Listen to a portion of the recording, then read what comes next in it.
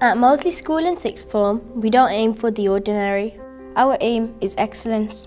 We challenge and encourage each other to work to the best of our ability. We collaborate. We share ideas.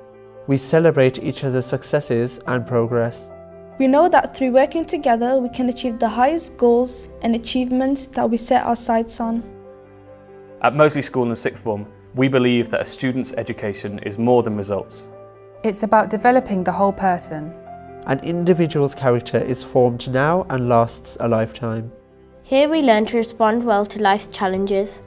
We become active citizens who make our world a better place. We care for our community. We always look out for each other. At Moseley School in sixth form, we value a passion for learning. A passion that will last far beyond our time at this school. We are scholars who question, examine, find and explore. We encourage an inquisitive mind in every student. Nurturing and challenging each individual to become a creative and resilient learner. We embrace every new opportunity with high expectations to succeed and learn from it.